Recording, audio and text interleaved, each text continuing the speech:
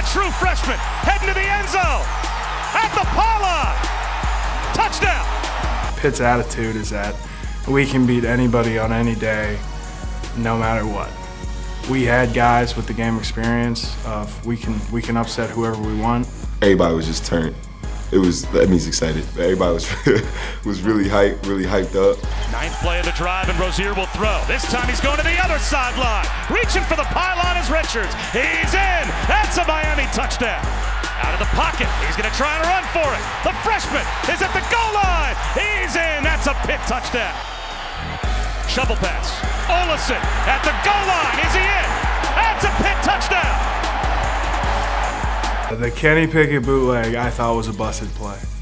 They, uh, they, cause they don't tell you it's a bootleg. That's the whole thing. Bypassing a field goal, and it's a bootleg for Pickett. The true freshman heading to the end zone.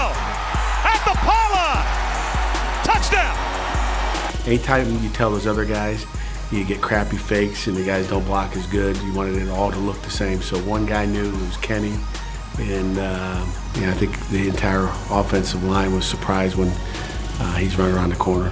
I remember screaming. I said, "It's not time yet. It's not time yet." Um, it's a, I mean, that was a great team we were playing.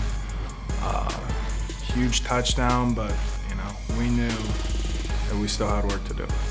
It's time to go. Like defense got to step up. We got to win the game if we have to. Like we'll do whatever we can to win this game. Rosier. The ball stripped out. It's loose. Who's got it? That looks like Dewayne Hendrix for Pitt. And that will end the Canes' undefeated season. It was just like elation. Like everybody was just was so so excited, so happy.